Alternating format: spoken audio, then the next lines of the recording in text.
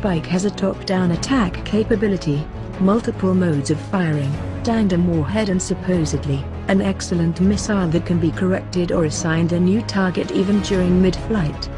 Unfortunately, some serious issues were discovered the moment these systems were put to the test in combat conditions in Afghanistan by the Dutch forces subsequent to procurement testing by the German forces.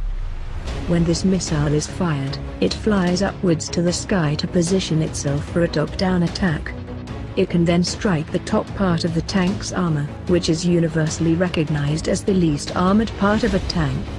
However, by flying upwards the missile temporarily loses line of sight with its optics, and needs to reacquire a target to lock on when it points its nose downwards again in its fire and forget mode.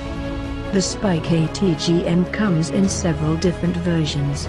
Vehicle-mounted versions, MR, medium range, and LR, long range, versions. The biggest difference is that the MR version is not controlled by its operator when launched, while the LR allows for in-flight correction by its operator by way of a data link wire. In Europe, armies of various nations had negative experiences with Spike when this system was used in uncontrolled environments or in extensive operations in war zones. In Germany, during the trials, it was discovered that when Spike reaches its top-down attack mode, if there are multiple identical heat sources near the target object, the missile selects the first targets its sensors find, ignoring the target selected by the operator. The missile seems to get confused and does one of two things the missile fails to follow the specified heat source, optical target or it acquires a wrong launch trajectory which cannot be corrected during the flight. As a result, the missile just harmlessly slams into the ground between targets. The only way to ensure accuracy of the Spike LR is by having an operator guide the missile every step of the way with its fiber optic data link. The Dutch first tested the Spike by putting a large shipping container within its firing range on one of their FOBs in Afghanistan, to try the missile out in combat conditions. Similar to the Germans, they ran into issues with Spike as well. The missile did not always go after its intended target when launched in fire and forget mode. As it turned out, in daylight desert conditions, where the natural environment's temperature is close to the Spike's target's temperature, Spike is unable to keep track or to reacquire its target in flight, no matter how you fire it. When the Dutch selected the shipping container as the target and fired, the missile, as it came down, could not reacquire the target and came down to the ground a few meters beside it. The Dutch reviewed the firing procedures and tried to hit the shipping container again. On their second attempt the optical tracking failed.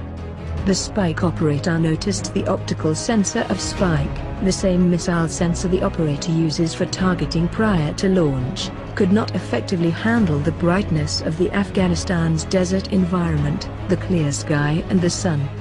After testing five missiles in different firing modes and conditions the testing was stopped and the Dutch defense contractors, Urkers and Thales, were notified that the system's guidance does not work in bright environments or on fixed targets that do not radiate enough heat or optical signature in contrast with their surroundings.